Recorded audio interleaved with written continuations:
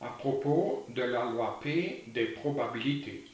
Les événements d'une expérience aléatoire ont une propension plus ou moins grande à se réaliser.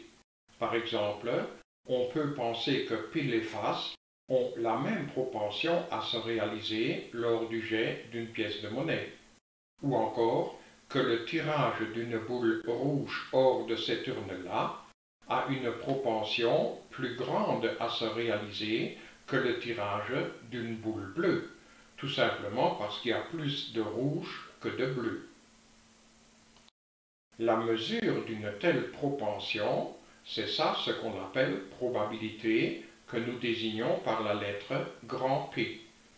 Si deux événements ont la même probabilité, alors on dit qu'ils sont équiprobables.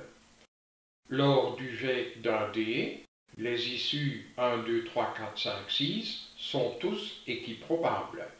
Et on a la probabilité de chacun de ces événements élémentaires vaut un sixième.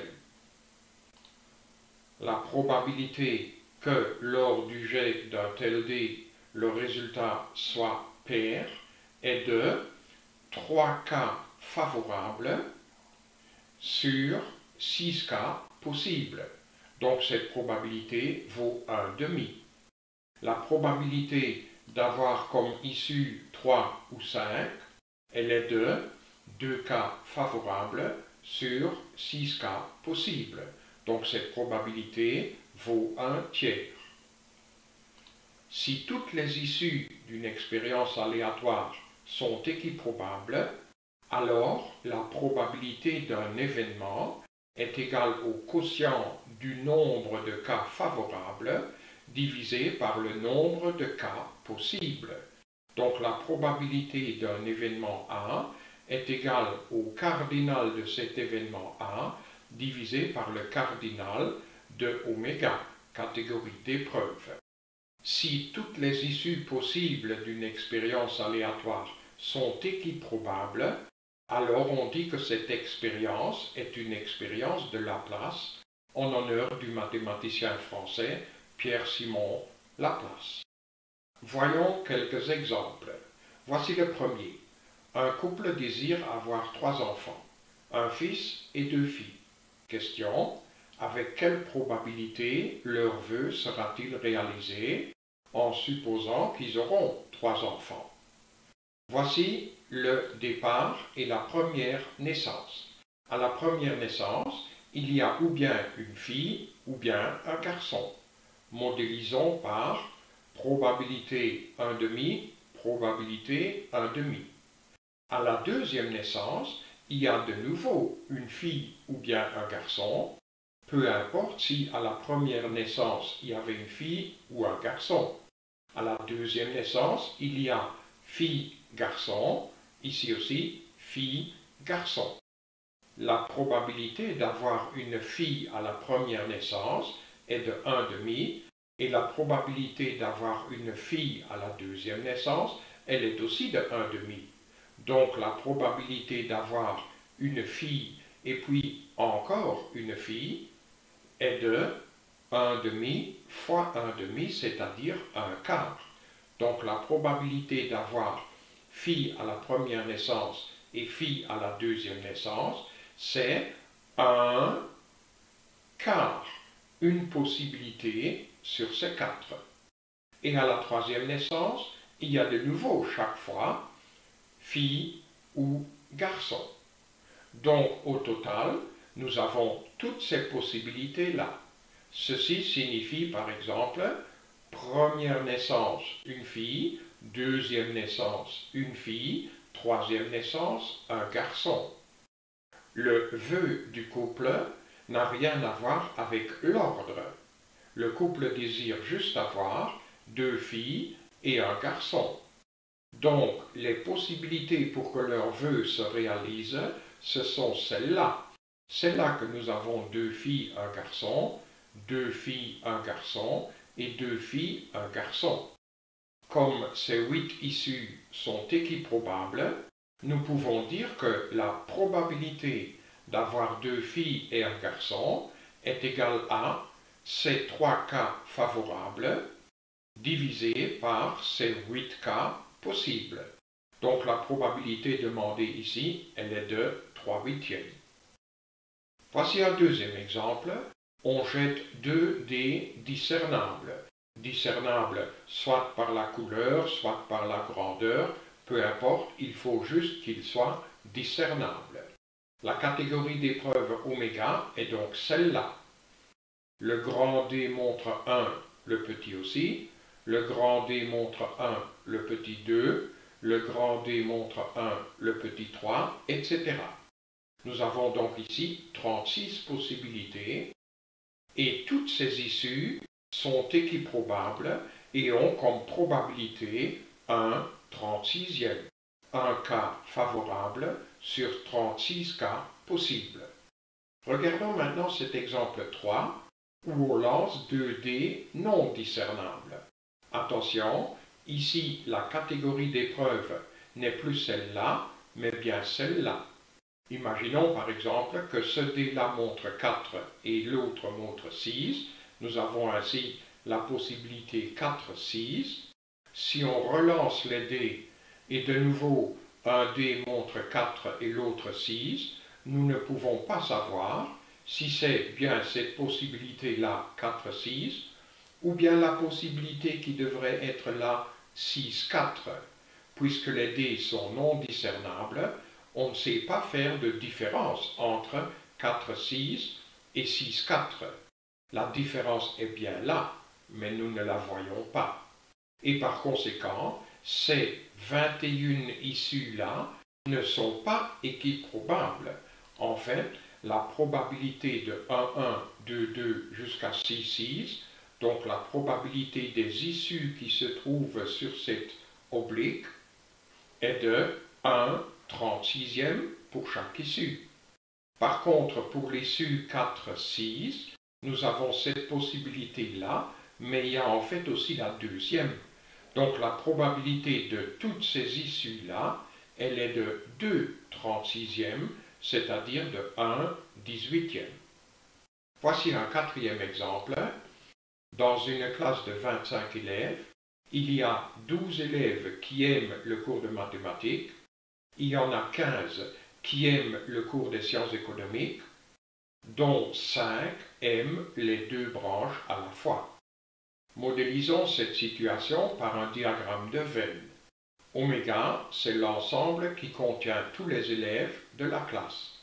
M, c'est l'ensemble qui contient les élèves qui aiment bien le cours de mathématiques. Et E, c'est l'ensemble des élèves qui aiment bien le cours de sciences économiques. Nous savons par l'énoncé qu'il y a cinq élèves qui aiment bien les deux branches. Donc, dans l'intersection, il y a cinq élèves. Ce 5, ce n'est pas l'élément 5, il n'est pas muni d'un point. Ce 5 désigne juste que dans l'intersection, il y a cinq éléments. Comme il y a 12 élèves en tout qui aiment bien le cours de mathématiques, dont 5 sont déjà repris là, c'est qu'il y en a nécessairement sept qui aiment bien le cours de mathématiques sans aimer le cours de sciences économiques.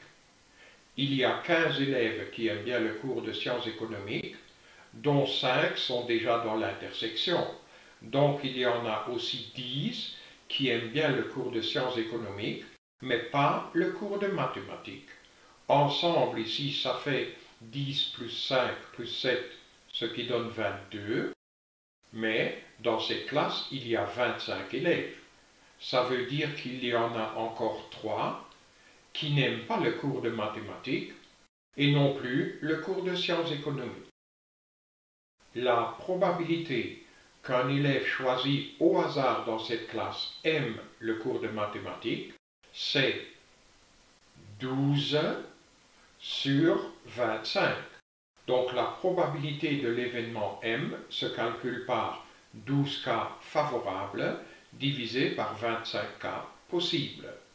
La probabilité qu'un élève choisi au hasard aime le cours de sciences économiques se calcule par 15 cas favorables sur 25 cas possibles. Donc cette probabilité est de 3 cinquièmes. la probabilité qu'un élève choisi au hasard aime la mathématique et les sciences économiques vaut bien sûr 5 cas favorables dans l'intersection sur 25 cas possibles. Donc cette probabilité est de 1 cinquième. Et la probabilité qu'un élève choisi au hasard aime la mathématique ou les sciences économiques, mais ce sont tous ces élèves ensemble, c'est-à-dire la probabilité est de 22 cas favorables sur 25 cas possibles.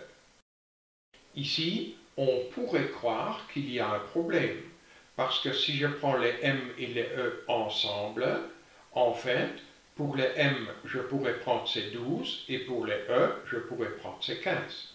Oui, mais 12 plus 15, ça fait 27, et non pas 22. Évidemment, le problème se trouve là.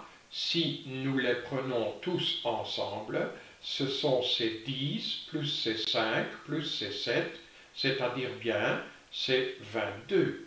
Si nous prenons les M plus les E, ça, ça fait 27, mais alors nous avons pris ces 5-là deux fois.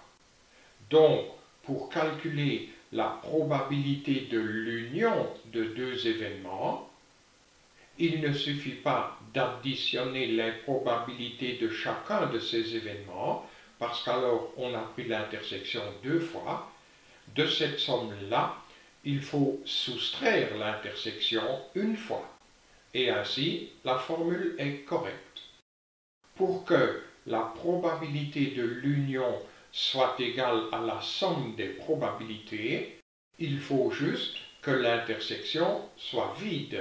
Imaginons que l'intersection est vide comme ceci, alors la probabilité de l'union de M et de E, c'est bien la probabilité de M plus la probabilité de E. Donc, pour que la probabilité de l'union de deux événements soit égale à la somme des probabilités de chacun de ces deux événements, il suffit que l'intersection des deux événements soit vide. Et c'est justement de cela qu'on tient compte dans la définition de la notion mathématique de probabilité. Voici cette définition mathématique. On appelle probabilité une loi désignée par grand P qui, à tout événement A, associe un nombre réel qui doit être positif et qui doit vérifier les conditions de Kolmogorov. Ce nombre réel positif, on le désigne par P de A, et les deux conditions de Kolmogorov sont la probabilité de la catégorie d'épreuve est égale à 1. Évidemment, la probabilité de oméga, elle est de 100 pour 100, c'est-à-dire 100 sur 100 et ça, ça donne 1. Et la deuxième condition de Kolmogorov dit que si deux événements A et B sont tels que leur intersection soit vide, on dit que si deux événements A et B sont disjoints, alors la probabilité de leur union est égale à la somme des probabilités de chacun de ces deux événements. On appelle ces deux conditions condition de Kolmogorov en honneur du mathématicien russe Kolmogorov.